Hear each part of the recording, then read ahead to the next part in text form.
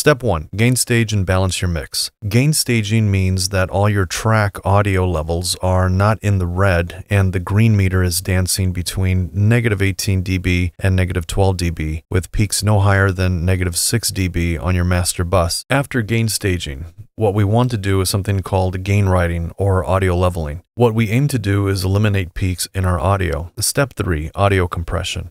I strongly suggest using a compression ratio of no more than 2 to 1 for dialogue. Now we're ready to get our track ready for prime time by bringing up the audio levels with a limiter. Step 5. Normalize. Go to the Deliver tab, click on Audio Settings, then expand Audio Normalization and check Normalize Audio. In the active drop-down list, scroll and select YouTube. Alternatively, you can choose the YouTube preset from the top scrolling menu and select YouTube. Then check the box labeled Normalize Audio. If all your other settings are good, click Add to Render Queue and render.